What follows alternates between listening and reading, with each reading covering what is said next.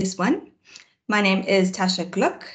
Um, I will be co-chairing the session with Sumaya and I'll let Sumaya introduce herself and just share some of the housekeeping um, details. Thanks. Uh, thanks, Tasha, and welcome everyone to the session. Um, so my name is Sumaya Ibrahim from Cochrane, South Africa. Um, so this morning, uh, just in terms of some housekeeping, uh, everyone is muted and um, should remain so. Uh, if you do, uh, once the presentations are over and if you have a question, uh, please raise your hand and we can unmute you. Uh, the session will be recorded um, and we can proceed. Thank you, Tasha. Thanks, Sumaya. So our first speaker this morning is Lindy Mathebula. She is from Cochrane, South Africa, uh, at the Medical Research Council. Uh, thanks.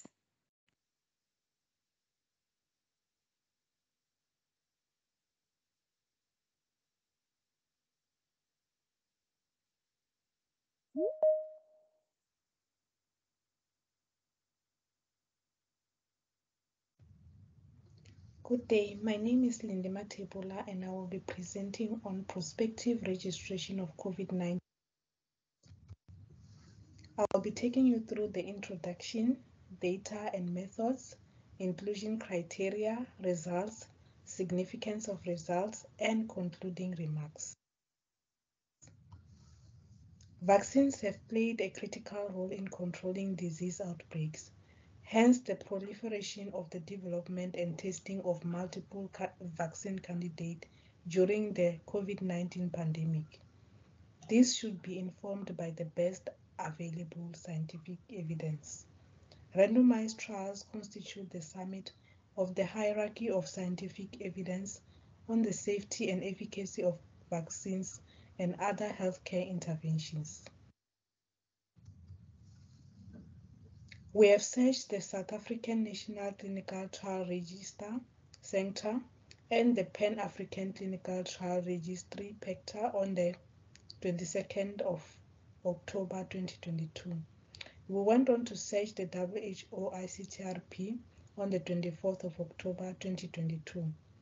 One researcher conducted the search combining the search terms for COVID-19 in PACTR, SANCTR, and the ICTRP.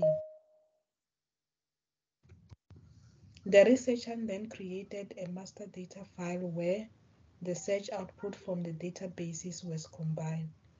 Two researchers screened the titles and brief summaries for eligibility and excluded ineligible trial records. They then assessed remaining records for eligibility, resolving discrepancies by discussion and consensus with a third researcher.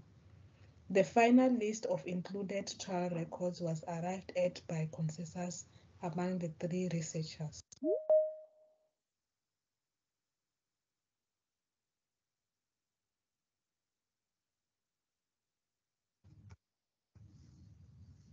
Our search found inclusion criteria. We defined eligibility criteria as trials with at least one site in an African country, assessing the safety, immunogenicity, and or efficacy of new or existing vaccine for prevention of COVID-19 infection or a disease. We also included trials that were assessing the efficacy of interventions for improving uptake of COVID-19 vaccinations.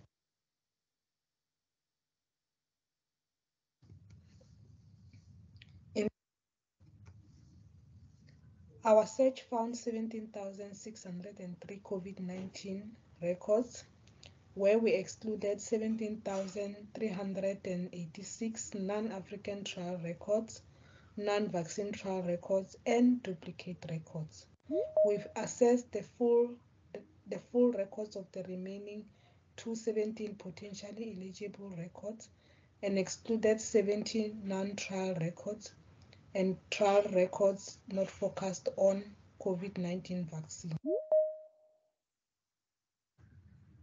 Our results show that majority of the trials, which were about 95% of the COVID-19 trials, were registered prospectively. And when looking at the country where the principal investigator was based, we found that for 72% of the trials, principal investigator was based in Africa. When looking at the phase of the trial, we found that 46, 41% of the trials were phase three trials.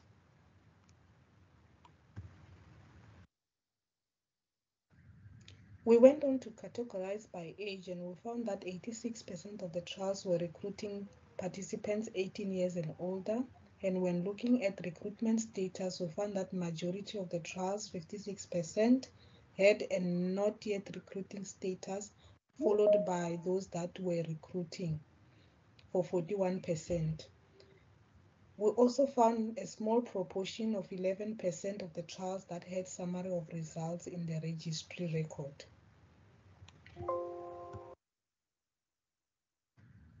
When categorizing trials by purpose, we found that 88% of the trials focused on new COVID-19 candidate vaccines, while 7% assessed effects of repurposed vaccines, which were BCG, MMR, and OPV vaccines, amongst others. And we found that 5% assessed effects of strategies to increase COVID-19 vaccine uptake. When looking at country of recruitment, we found that among the 147 trials, 54% of the trials were recruiting in South Africa.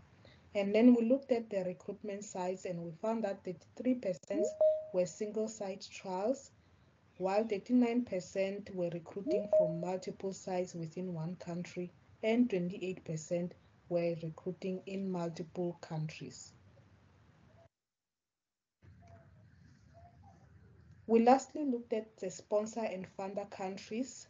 We found that trials were sponsored from the African countries where recruitment took place in 29% of the trials and were funded from the recruitment country in 16% of the trials. Outside Africa, most sponsors, 21%, and funders, 19%, were from the United States of America.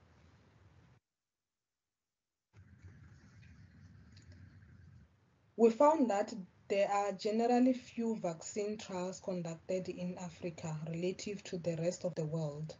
The limited vaccine trials in Africa could be attributed to limited expertise and resources, both human and material, as well as lack of perceived market.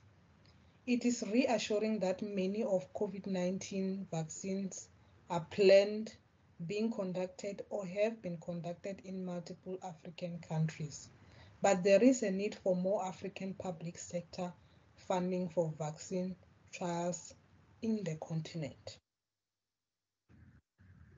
In conclusion, we find that most trials are registered prospectively. However, majority of these trials are not updated even at 12 months after completion by date, where most remain not yet recruiting. There is a need to increase clinical trial data transparency, especially in the midst of a pandemic. Researchers are encouraged to update their records regularly and provide results in a public platform to uphold the ethical mandate to, partic to participants and research that contributes to their medical knowledge.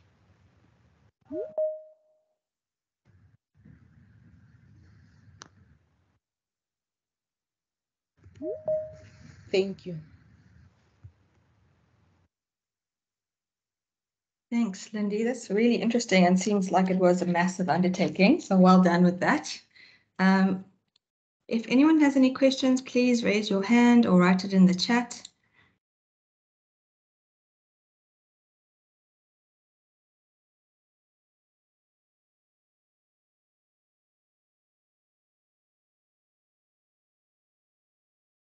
While we wait for any questions that might come to mind, um, Lindy, I have a question for you. What do you think would be a way to improve the reporting once people, because you said there's an issue with child maybe being registered but not being updated. So I suppose two questions. The first is, do you think that African trials are being underreported and how can we improve that? And then once they are registered, how can we encourage updates? Thanks.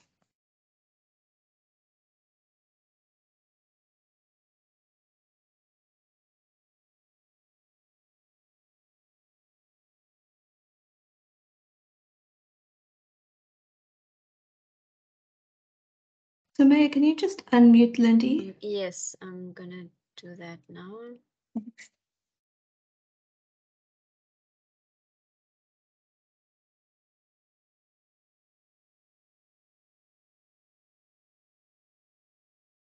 Uh, Lindy? Uh, thanks, Sumaya. Uh, thanks, Tasha. Uh, thank you for that question. Uh, so there is uh, generally underreporting of uh, trials, I do believe. Um, so what we can do when the trials are registered, what we are looking to do within the trial registry is to be able to send some kind of an up, um, 12 months update message to say that researchers must come back to update their records because we do believe that maybe sometimes they have forgotten to come back and update their records. And then within South Africa, uh, the interesting thing is that we have the, the SAHPRA, which uh, ask uh, researchers to update their records and send that uh, a printout of that record to them as an update. So that actually helps in South Africa for the researchers to be able to update their records. But generally, there is no legislation around it. That's why we cannot force researchers to be able to come back and update their records. We just send them those update uh, emails for them to come back and update their records, but it's generally the responsibility of the researcher to come back and, and update their records. Thanks for that, Lindy. That's interesting. Maybe a gap in some policy. Yes. Um, do we have time for one more question, Samir?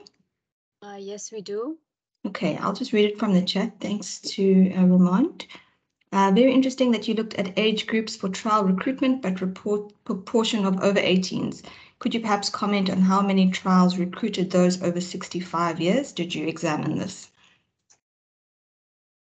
Uh, thank you for that question. Uh, no, we did not break down the, the ages. We just looked at uh, those that recruited the over 18. So we actually didn't look at each and every age category after that, just over 18. Yeah. Great, thanks, Lindy. Um, that was really interesting. We're going to move on to our second presenter, which um, that's Oluchukwu Loveth Obiora from the University of Witwatersrand. Thanks. My name is Oluchukwu Loveth Obiora, a Hero Friedland postdoctoral research fellow at the University of the Witwatersrand, Johannesburg. I'm presenting this research titled Perceptions of Human Movement Researchers and Clinicians on the Barriers and Facilitators to Health Research Data Sharing in Africa. These are my co-authors. This is the outline um, for the presentation. When we talk about research data sharing, we mean making research data available for other investigators and the benefits of research data sharing, sharing are and, and, enormous. You will see a lot of that in literature. Then when we talk about human movement res researchers and clinicians, we refer to researchers who are, that's individuals who are conducting human movement research. And when we talk about clinicians, we mean um, people who attend to the healthcare needs of people in the field of human movement. This includes both the um, physiotherapists, the sports scientists, the podiatrists, and so on. The aim of the study is to describe the perceptions of human movement researchers and clinicians on the barriers and facilitators to health research data sharing in Africa. We employed a qualitative descriptive design, and this was um, an Africa-wide study. So the interviews were done online. We um, recruited participants from the five regions of Africa. We aimed to recruit participants from the five regions of Africa, but all efforts to get participants from Central Africa was unsuccessful due to technological issues. Um, some of them couldn't um, stay online um, due to internet issues and couldn't take long calls, also due to electricity and internet problems.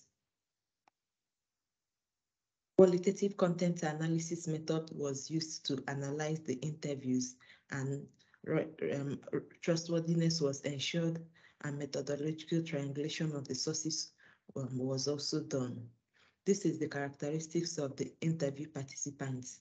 Most of them had um, postgraduate qualifications. Now, these are the barriers and facilitators to the research data sharing. The barriers and facilitators were grouped into five teams. The first one is the researcher clinician gap. Almost all the participants from um, the four regions reported that there is a kind of gap um, between the researchers and clinicians, partly due to ego and then partly due to um, the fact that clinicians have had um, have no motivation to get involved in research in some of the countries. They said they had no CPD points awarded for involvement in research, so it seems as if it's a waste of time for them, and they don't use they are not promoted based on that, unlike those in the academics. Also, time constraints um, was a major issue reported, especially by South African clinicians. They said they have to um, meet specific number of patients, attend to specific number of patients in a day. So they have serious time constraints for them to be able to collect data and share data. Now, the facilitate the, the, the good news is that researchers, um, that, that clinicians have enormous data at their disposal because they at, they attend directly um, to the to the uh, to the patients and the clients. However, these barriers which includes also poor knowledge about data collection and data sharing, affects the use of this enormous knowledge at the disposal of enormous data at the disposal of the clinicians. Then technological pros and cons were reported. A participant from Sudan mentioned that they have no electricity and um, talk much more of having internet and um, talk much more of having even um, access to databases and so on. So this uh, makes data sharing to seem as if it is a, an impossible um, thing for them, for the researchers and clinicians from the country. Then participants from Nigeria also reported that they have epileptic power supply. Several institutions are not subscribed um, to databases, so their staff have no access to to to to uh, to, to publication to research publications and they have no access to databases. They also reported that in their hospitals, the computers available are mainly for administrative purposes, and they also have no time to collect data. Also, cost matters were reported. Then bureaucracy and ethical factors were reported. Some participants were um, worried about big companies using their data unethically. Then the current used patients informed consent does not include data sharing. This is um, an issue that is um, a problem all through um, the African continent. The patients informed con con uh, patients informed consent most times don't have um, um, information about the permission to use the data to share the data. So this limits data sharing. Then the norm of keeping research data secured for only five years in many institutions can hinder long use of data and data sharing. Then we have the unique African perspective on data sharing. This is because um, overseas published materials do not align with the African situation. And then the problems with language and consent for data collection and sharing, especially in the rural communities of Africa, impact of low research settings and so on. We are really unique African perspectives to data sharing.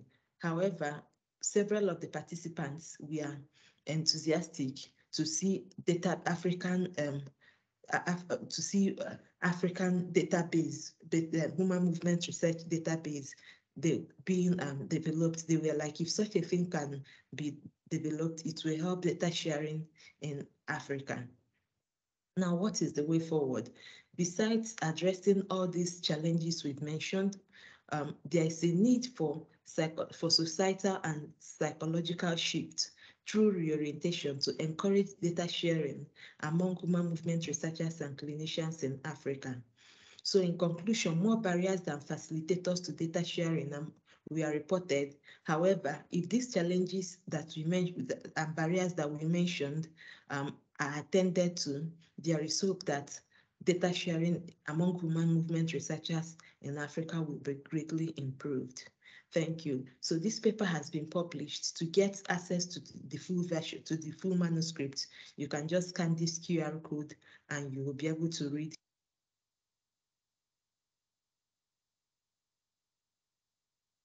Wow, uh, thank you. That was an incredibly interesting uh, presentation and I'm going to go and read that paper for sure.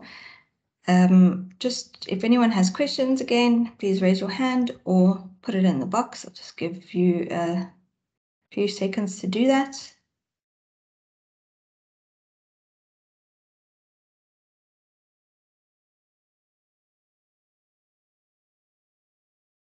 Whilst we wait for people to ask questions, um, I have a question, which as you spoke, um, it may have been in that table, um, but how did you go about finding people to interview? Was there specific organizations that you targeted or was it just, yeah, maybe you can explain a little bit around that. Thanks.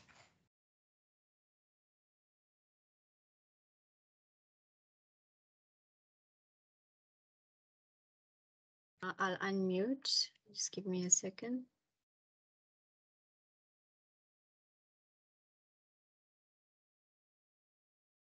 I love it. You should be able to unmute.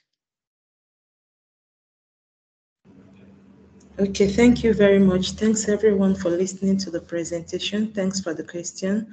Um, we actually um, searched um, Google and also different institutions in African countries. We also went to the database of um, African scientists. So we had no specific organizations in mind. We just wanted to reach out to all the, as many researchers and clinicians in human movement um, as possible. And but what one way, one thing we did was that we created a sample grid to make sure that each region in Africa is duly rep fairly represented. So with that sample grid, we began to send emails in English and French to all the um, to as many um, contacts as we that we could get from ResearchGate, from Google Scholar, from African Scientists databases, and from the institution um, from the institutions, that's the universities and research institutions we could get online. We sent several emails, and those that responded, yeah, we scheduled them for interview and the interview was done. Great, thank you. And um, did you find that, because sure you had your sampling strategy, but with the people that responded, did it remain fairly evenly distributed across the regions? I mean, I know you said not central. Yes, yes, that was the the the, prob the, the problem was that um, we couldn't get uh, we, we couldn't interview a, any participant from um, Central Africa because of we, we got them there. About two responded participants uh, potential participants responded but they couldn't stay online because we used microsoft teams for the interview and they couldn't stay. That's for us to be able to record because of internet issues. And even when we, we tried to make long phone call that's to, to do the interview over the phone it wasn't successful. That we couldn't reach out to them. So that was the, mm. a, a big barrier at the end of the day, we couldn't interview anyone from Central Africa. Even the person that we interviewed from the, the persons um, from Sudan, from Sudan, we only managed, it kept breaking. We had to, at the end of the day, use um, Microsoft um, Teams to be putting um, some together, that's the breaks together so that we can have um, real transcripts to analyze. Mm.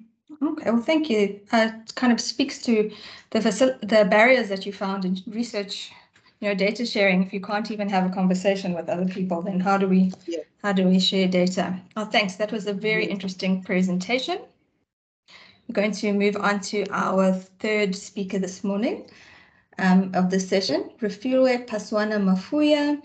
She is from the SAMRC UJ Pan-African Center for Epidemics Research Extramural Unit. Thanks.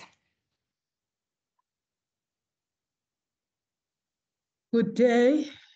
It is my pleasure to present on our project entitled Harnessing Large Underutilized uh, Available HIV-Related Data and Relevant uh, auxiliary data on key populations to evaluate the potential impact of HIV responses in generalized epidemic settings.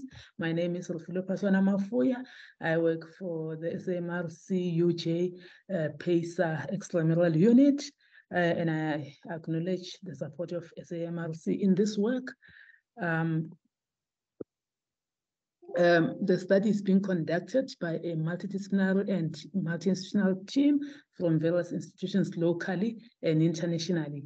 Uh, the objectives of the project are to, to build a flexible, uh, a comprehensive uh, key populations data warehouse with computational power to handle large integrated data sets and machine learning approaches to collect available HIV-related relevant auxiliary data for key populations in South Africa from the year 2000 onwards and align the data warehouse to the uh, FAIR principles, uh, as well as to populate the data uh, into the data warehouse.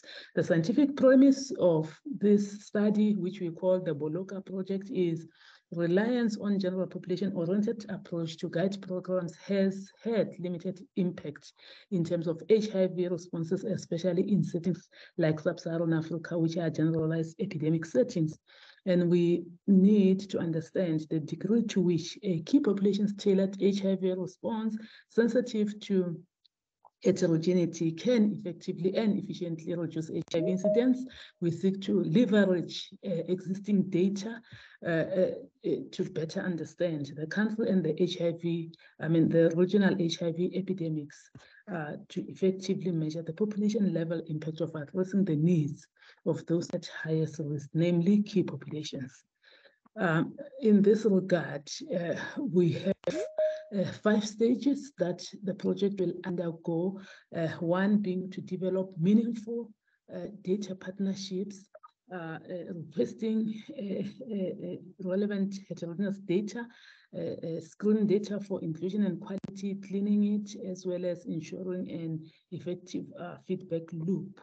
Uh, in terms of stage one, uh, we envisage uh, to engage with a range of stakeholders at multiple uh, um, levels representing a myriad of institutes and to conduct a stakeholder analysis in order to understand the landscape of individuals and institutions relevant to key populations in South Africa. This will uh, build upon the investigators' existing network of HIV practitioners, policymakers, and researchers. Uh, in terms of stage two, two, we seek to collate data with high variability in terms of source, type, structure, and format across places, times, and populations, which will allow for analysis beyond traditional methods uh, we will leverage our partnerships to gather data from multiple sources, including available HIV-related epidemiologic data for key populations, as well as routinely collected uh, programmatic data.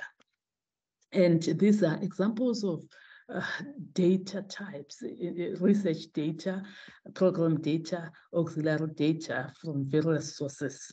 Uh, in terms of stage three, once the data is received, it will go through a process of screening and assessment before its inclusion in the data warehouse. Uh, figure uh, four in the next slide uh, delineates the process which will be followed. And we have utilized these methods uh, in previous studies together with uh, co the collaborators. Stage four uh, involves all the clean data being converted into a standardized format to create a structured but flexible and updatable data warehouse. The resulting database will be responsive to the size and scope of the collected data. It will be dynamic and flexible to accommodate diverse data. And uh, the data warehouse will be utilized for various analysis planned jointly with partners to answer key uh, research questions uh, and a set of or a suite of epidemiological methods for analysis uh, attuned to the structure of available data, including cross-sectional and longitudinal surveys, as well as going beyond traditional statistical methods will be employed, including small area estimations, transmission modeling, and application of machine learning techniques. Here are examples of indicators that will be uh, explored and uh, data will be analyzed at various levels with more granularity. And in terms of stage five, we want to translate the data into um, uh, uh, uh, uh policies and programs uh, uh, to address real world problems. and an effective feedback loop will be ensured so that there's communication and engagement from beginning to the end to enable buy-in and uh, uh, sustainability. There are planned initial analysis, including SCI methods, mathematical modeling, surveillance systems, and data disaggregation. There's a range of key success factors that uh, uh have been uh, uh, thought about and medium and, and long-term impacts, which uh, are highlighted on the slide. And on this note, I'd like to acknowledge all, uh, you know, the collaborators, the research team, and the institutions involved uh, in terms of the provision of resources. Thank you very much.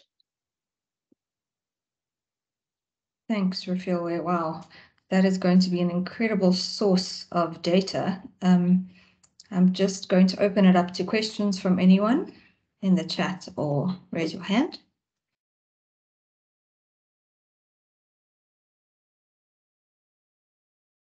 What I will ask so long, uh, Refilwe, is, I mean, this is clearly a massive undertaking, um, and there's clearly a lot of planning going into it. What is your time frame um, for each stage or of the whole project? And I, I heard you mention something about sustainability. What is the plan for beyond the project for maintaining the, the database?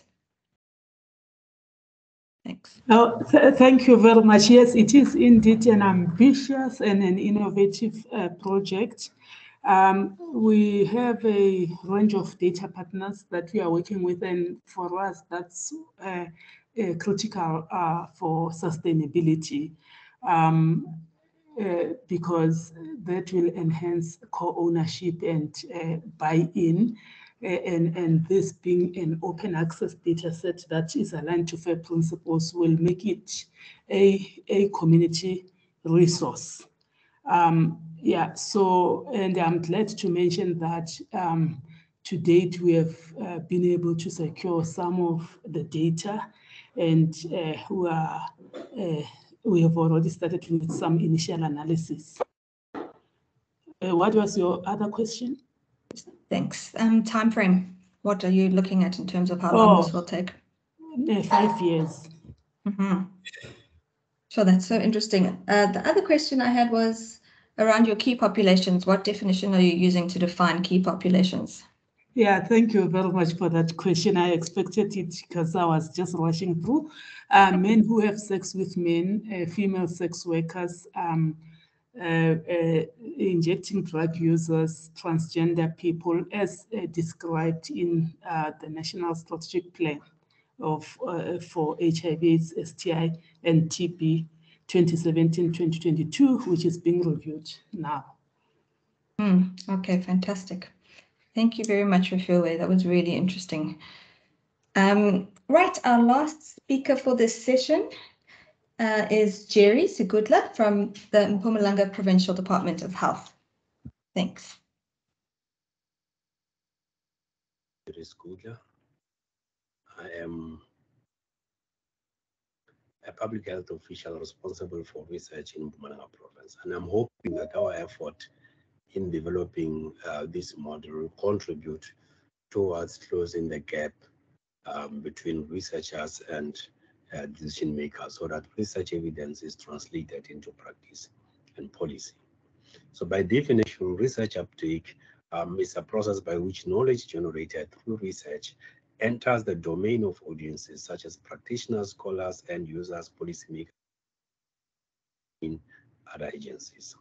Traditional researchers will produce research evidence um, that requires end users to have analytical skills and clinical knowledge necessary to adopt and implement the research evidence. In this instance, end users become involved um, at the tail end of the research uh, project when findings are ready for dissemination um, um, um through presentation or pub publication in academic journals. But the concept of research uptake is intended to close the gap by affording end users uh, an opportunity to be immersed um, in shaping the research project in one way or another. So in low research countries such as South Africa, implementing research uh, findings um, is actually impeded by quite a number of um, factors, such as uh, shortage of research uh, resources, um, lack of skills, and other competing So it, the implication of low public health research uh, uptake um, is that return on research investment uh, remains low. So a discussion paper by Heleta actually found that out of 1.5 million peer-reviewed articles, 85% are not cited. So that means that potential world-changing ideas are not getting into the public domain. So there is no clear linkage between health researchers, policymakers, health program developers, and practitioners, and which leads to no, no accountability from all relevant stakeholders. This study was aimed um, at resolving some of these issues by focusing on the emergence and the persistence of low research uptake to develop a simple model for the optimal uptake of public health research. So I'm from a province of 4.7 million people. Healthcare facilities is 220. 56% of the population live in rural areas. HIV prevalence is 20.3%. The average life expectancy is 64.5 years. The leading cause of death um, is still TB, and we share borders with Mozambique and Swaziland. So despite all these factors, the majority of research in the province is conducted by students at 61%, um, mainly for academic purpose, and then government um, conducts only 2% of the research or initiate 2% of the research which is conducted in the province. So in this research, we wanted to know what are some of the perception of stakeholders with regard to research uptake and what are some of the factors, what are the main factors that actually influence uh, research uptake and what should the model uh, for uptake of health research consist of. So it was a mixed method research design but some of the findings um, were not new. Basically, we found that there's lack of awareness of research results. Uh, researchers were not providing feedback on research conducted. Um, there was lack of a champion to lead engagements among research stakeholders. Researchers also failed to align public health research projects to existing local contexts and available resources. This inability to establish and sustain beneficial collaborations. Um, the correlation coefficient confirms six factors that affect research updates, which are uh, support, experience, motivation, time factor, resources, and critical appraisal skill. So the model actually talk of um, says that uh, research uptake is the function of the relationship between three domains, which is evidence, context, and facilitation. It says that with evidence, we need clarity about the strength of the evidence um, that is going to be produced.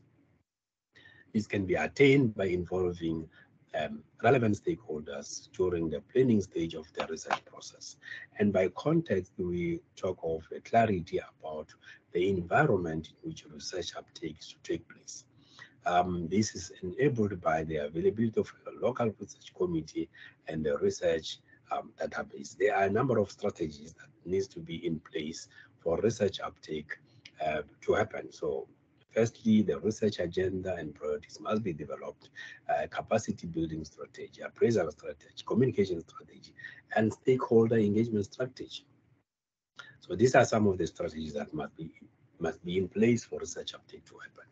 So by facilitation, we talk of the clarity in terms of um, um, um, the methods which are necessary uh, for the translation of research evidence into uh, practice and and policy.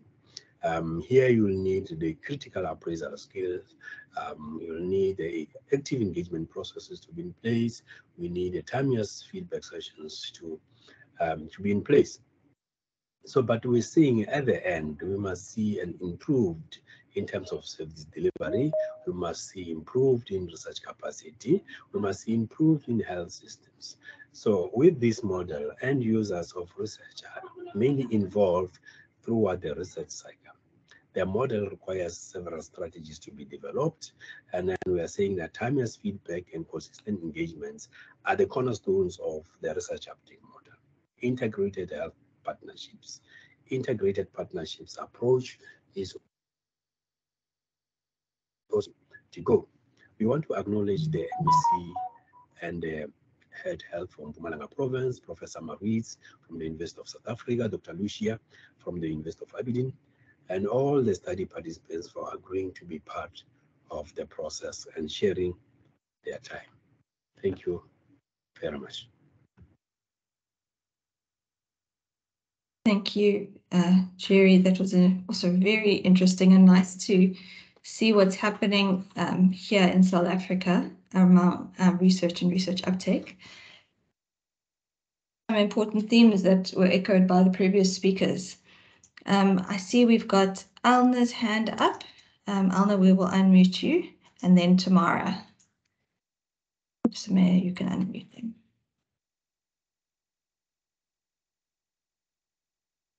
Uh, Elna, you can go ahead.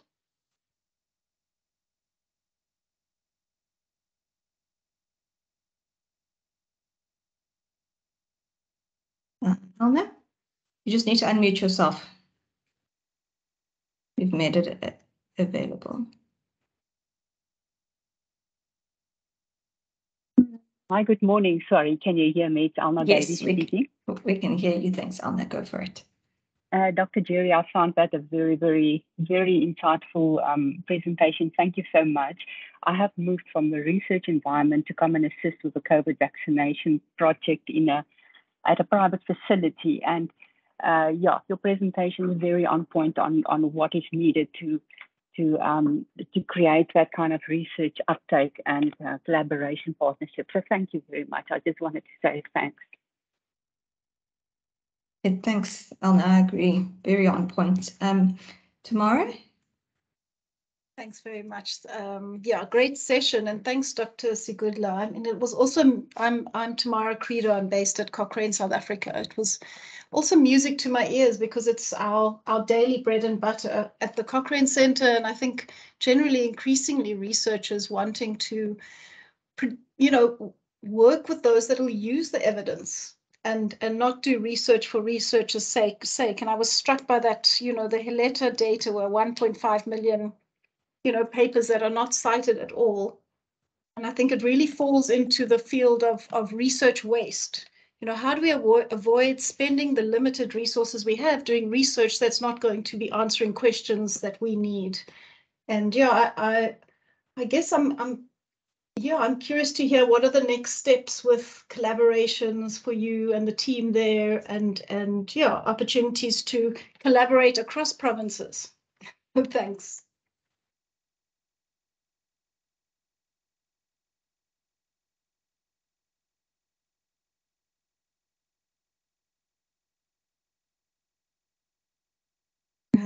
Dr. Jerry, you just need to unmute yourself, please.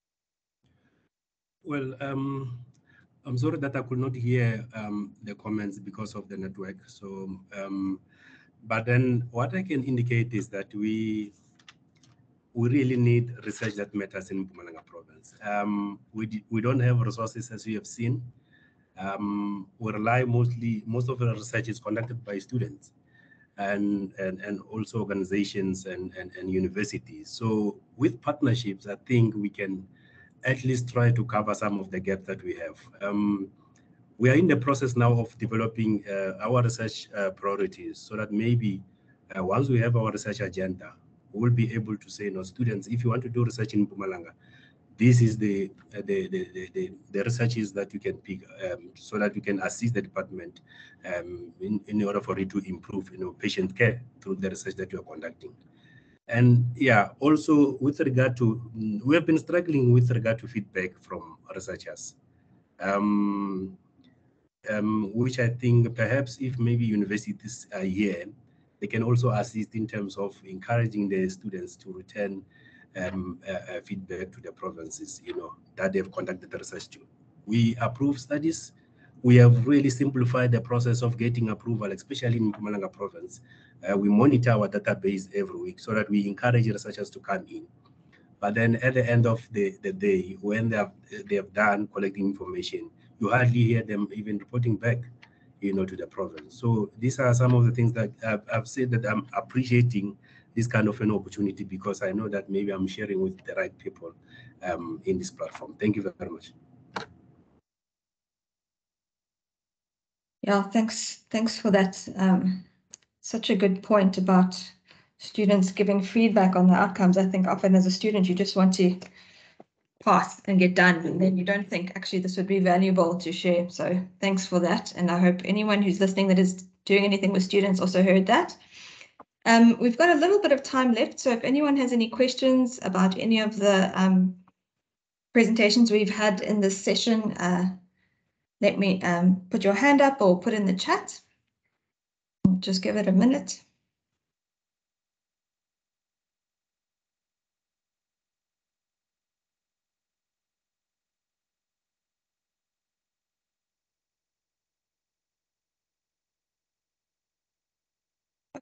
Oh, less than a minute. Um, coming up after lunch, so we have lunch break from 12 until 1, and then from 1 until 2, we have our first post-decision session around COVID-19 and infectious diseases, which should be a very interesting. And then from um, 2 until 4 this afternoon, we have our first plenary. Um, and that will be really, really good to attend, so please do. Otherwise, we will see you at one o'clock after lunch. Um, I'll still be around for a little while if there's any questions. Otherwise, see you after, um, after lunch. Thanks, everyone.